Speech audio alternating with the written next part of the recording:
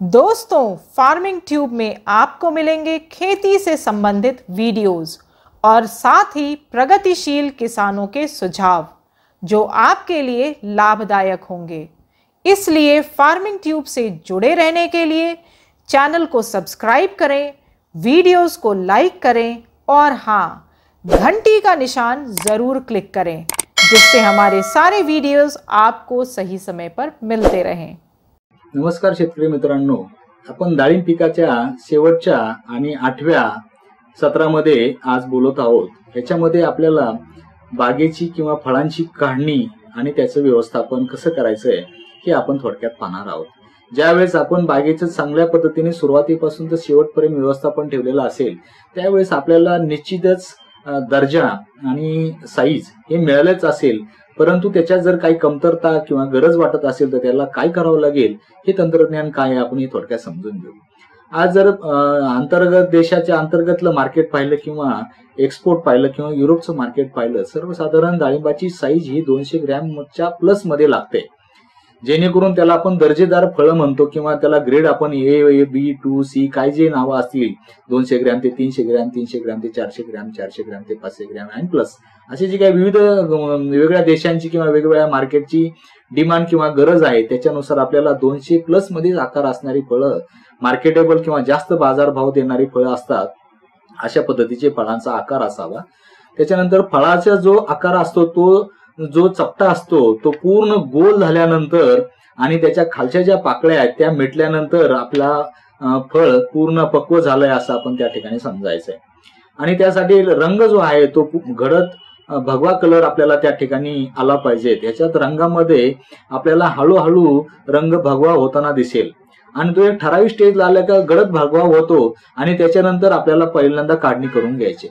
ती जर काढणी आपण आणखी उशिरा केली तर गडद भगवा हा डार्क भगवा किंवा काळा भगवा होत चालतो आणि आपल्या त्या फळांची गुणवत्ता ढासाळायला लागते आणि त्याच्यामध्ये आतील रॉटिंग व्हायला सुरुवात होते आणि साखर जे आहे ते रिवर्स साखर होते. त्याच्यामुळे वजनामध्ये पण घट येते. कलरमध्ये पण घट येते आणि मार्केटमध्ये कलर हा सगळ्यात महत्त्वाचा भाग आहे. आणि त्याच्यानंतर रंग हा त्या ठिकाणी डेव्हलप झाल्यामुळे आणि त्याची गुढी हा डेव्हलप झाल्यामुळे आपल्याला त्या ठिकाणी दर त्याच्यावरती अपेक्षित असतात. मग रंग येण्यासाठी आपल्याला नैसर्गिकरित्या एकतर सुरुवात शेवटच्या कालावधी आपण पोटॅशची मात्रा वाढवतो. ती पोटॅशची मात्रा आपल्याला खतांमधून वापरता येईल आणि जैविकांच्या वापराने आपल्याला वाढवता येईल.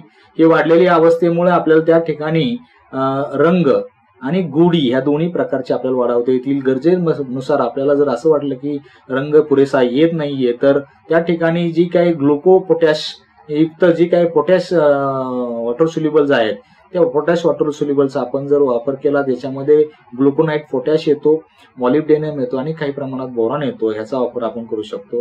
कडकपणा असेल तर आपण कॅल्शियम किंवा बोरॉन ईडीडीएम मधला फवारा देऊन त्याला कडकपणा घालू शकतो. आणि त्याच्या गुढी माझे आपल्याला पोटॅशनी करता येईल किंवा त्याच्यात जे काही पीजीआरसमध्ये काही पॉलिसॅकॅराइड्स आहेत. त्या पॉलिसॅकॅराइडचा वापर करून सुद्धा आपण जी ब्रिक्स आहे किंवा जी गोडी आहे ती साधारण सतरा टक्केच्या पुढे आपल्याला नेता येईल. जेणेकरून गोडी वाढली की वजन वाढते. वजन वाढलं की आपल्याला उत्पादनही वाढतं. आणि कलर येण्यासाठी आपल्याला त्या ठिकाणी पोटॅशची मात्रा वाढवल्यामुळे कलर येतो. आणि शायनिंग आणि चकाकी वाढवण्यासाठी त्या ठिकाणी आपण झाईम किंवा अमिनो ऍसिडचा वापर करू शकतो. त्याचबरोबर आपल्याला जैविकांमध्ये सुद्धा आपल्याला याच्यामध्ये काम करता येईल चाकाकी आणण्यासाठी. त्याच्यामध्ये अझोटोबॅक्टर स्ट्रेन काही आहेत की त्या आपण जर वरून स्प्रेमध्ये घेतल्या तर त्याला शायनिंग किंवा ग्लेझिंग मोठ्या प्रमाणात येते. त्याच्यासोबत आपण दुधाची जर मात्रा जैविकांबरोबर घेतली आणि तो रात्रीचा जर फवारा काढला दुधामुळे त्या दुधामध्ये असलेले जे काही अन्नद्रव्य आहे त्याच्यामुळे खूप चांगल्या प्रकारे चकाकी शायनिंग आपल्याला त्या ठिकाणी नैसर्गिकरित्या फळांना आणता येईल. अशा पद्धतीने चकाकी रंग आकार या सर्व गोष्टींचा विचार करून दोनशे प्लस मालाची आपण हार्वेस्टिंग करून त्याचं प्रॉपर ग्रेडिंग करून युरोपला बसणारा युरोपला लोकलला बसणारा लोकलला आणि बाकी इतर जो खराब आहे तो इतर लोकल रिजेक्शन माल आपण अशा पद्धतीचं जर ग्रेडिंग केलं तर माझ्या अंदाजाने जी काही युरोपला जे दर मिळतात सरसरते आपण जर मागच्या दहा वर्षाचा पाहिला कालावधी तर युरोपला पन्नास रुपयापासून तर दोनशे रुपये किलो प्रमाणे युरोपला त्या ठिकाणी बाजारभाव मिळतो. आणि डोमेस्टिक जे काय किंवा नॉन युरोपियन कंट्रीज जे आहेत तर त्या नॉन युरोपियन कंट्रीजला सुद्धा आपण त्या ठिकाणी चाळीस रुपयापासून तर जवळजवळ दीडशे रुपयापर्यंत किलोचा बाजार सर्वसाधारण आपल्याला त्या ठिकाणी त्या दर्जाचं जर फळ आपल्याकडे असेल तर त्याला फळाला मिळतो. तर अशा पद्धतीने जर आपण गेलो तर आपल्याला जो बिशी रेशो आहे जर आपण जमिनीमध्ये किंवा डाळिंबासाठी एकरी जो खर्च केलेला आहे तो सर्वसाधारण चाळीस हजारापासून तर एक लाखापर्यंत येतो. आणि ज्याचं उत्पादन जर आपल्याला त्या ठिकाणी कमीत कमी अपेक्षित असेल तर सात महिन्याचा जर फळावाचा कालावधी धरला तर आपण किमान दुप्पट अपेक्षा त्याच्यापासून केली पाहिजे. म्हणजे एकाशे गुणोत्तर जे आहे म्हणजे जेवढा खर्च केला त्याच्यात दुप्पट आपल्याला कमीत कमी डाळिंबापासून उत्पादन घेणं सहज आणि एकदम सोप्या पद्धतीने ह्या टेक्निकने शक्य आहे. जेणेकरून आपल्याला एकाशे गुणोत्तर मिळालं तर सात महिन्याच्या कालावधीचा जर विचार केला तर दुप्पट पैसे इतर कुठल्याही पिकामध्ये ह्या सात महिन्यामध्ये होत नाहीत.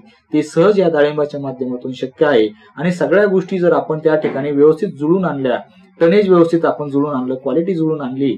मार्केटिंग प्रॉपर केलं रेसिडी फ्री मध्ये जर गेलो तर एक एकरामध्ये आपल्याला सांगायची आवश्यकता नाही किती उत्पादन मिळेल. हे सर्व तुम्ही सर्व जाणकार ज्ञात आहात. फक्त त्या ठिकाणी रेसिडी फ्री कसं बनवायचं?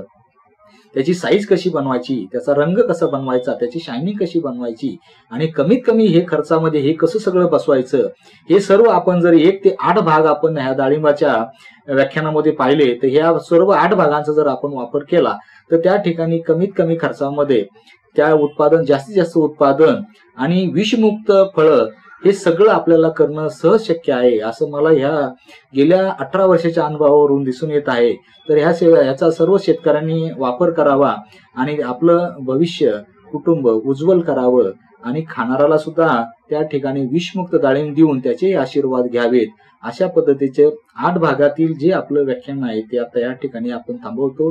या ठिकाणी इतर शेतकऱ्यांना काही या संदर्भात अडचण वाटली तर त्यांनी खालील दिलेल्या माझ्या फोन नंबरवरती मला कॉन्टॅक्ट करायचा प्रयत्न करावा किंवा समक्ष येऊन भेटावं जेणेकरून याचे अजून जे बारकावे आहेत प्रात्यक्षिक किंवा प्रॅक्टिकलच्या माध्यमातून समक्ष आपल्याला त्या ठिकाणी देता येतील जेणेकरून सर्व तुम्हा सर्व शेतकऱ्यांचं भविष्य उज्ज्वल होईल. आपल्याला डाळिंब पिकामधील कुठल्याही प्रकारची शंका असेल किंवा समक्ष येऊन भेटायचं असेल तर त्यासाठी मी शेतकऱ्यांसाठी चोवीस तास हेल्पलाईन ह्या माध्यमातून तयार केलेली आहे त्याच्यामध्ये आपला श्रीवंदा तालुक्यातील माऊली ॲग्री मॉल नावाचे आपल्या ऑफिस आणि कन्सल्टिंग फर्म आहे. याच्या माध्यमातून आपण शेतकऱ्याला लागणाऱ्या सर्व प्रकारचे जीवाणू सर्व प्रकारची सेंद्रिय खतं सर्व प्रकारचे रासायनिक खतं माती पाणीचा तपासणी प्रयोगशाळा आणि त्या ठिकाणी कन्सल्टिंग किंवा मार्गदर्शन शेतकऱ्यांना मोफत स्वरूपामध्ये आपण उपलब्ध करून दिलेले आहेत. या सर्व गोष्टींचा शेतकऱ्यांनी लाभ घ्यावा आणि त्यासाठी संपर्कासाठी पत्ता जो आहे तो आहे Mauli agri mall Mandavgan road Shrivanda जिल्हा अहमदनगर. आणि फरमचा किंवा ऑफिसचा जो फोन नंबर आहे झिरो चोवीस सत्याऐंशी बावीस दहा सदोतीस आणि माझा वैयक्तिक पर्सनल जो नंबर आहे तो चौऱ्याण्णव बावीस त्र्याहत्तर सत्याहत्तर दहा. दुसरा नंबर जो आहे तो चौऱ्याण्णव बावीस एक्क्याण्णव अठ्ठ्याऐंशी सत्तर. ह्या नंबरवरती संपर्क साधून शेतकऱ्यांनी जास्तीत जास्त मार्गदर्शनाचा लाभ घ्यावा आणि त्यांची शेती उन्नत प्रगत करून त्यांचं जीवनमान आनंदमयी आणि सुखकर आणि संपन्न मन जावं अशा पद्धतीचे आपल्याला सर्वांना शुभकामना देऊन या ठिकाणी मी माझं मार्गदर्शन थांबवतो. धन्यवाद. दोस्तों फ़ार्मिंग ट्यूब में आपको मिलेंगे खेती से संबंधित वीडियोस और साथ ही प्रगतिशील किसानों के सुझाव, जो आपके लिए लाभदायक होंगे। इसलिए फ़ार्मिंग ट्यूब से जुड़े रहने के लिए चैनल को सब्सक्राइब करें वीडियोस को लाइक करें और हाँ घंटी का निशान ज़रूर क्लिक करें जिससे हमारे सारे वीडियोस आपको सही समय पर मिलते रहें।